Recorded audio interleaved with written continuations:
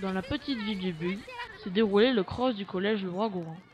Comme chaque année, les 300 élèves du collège du Bug doivent faire face à cette épreuve qui est devenue obligatoire pour tous les collèges de France. Alors, nous avons demandé à un participant comment s'était-il préparé. Comme un cross normal, euh, euh, bah, c'est une course à pied que j'ai envie de gagner. J'ai envie d'être le plus possible euh, des cinquièmes, forts. La distance du parcours est de 1 km Avec un sol boueux et un temps pluvieux, pas facile pour les élèves du collège du Bug. Mais en fait, pourquoi y a-t-il un cross tous les ans? Madame la professeure de sport, vous répond. Euh, il y a un cross tous les ans ben, parce que c'est l'occasion de proposer aux enfants de, de s'évaluer sur une course qu'ils n'ont pas forcément l'occasion de faire chez eux. Ensuite, ça a lieu ici parce que c'est le seul endroit qu'on a disponible. Sur ce, à l'année prochaine pour un nouveau cross.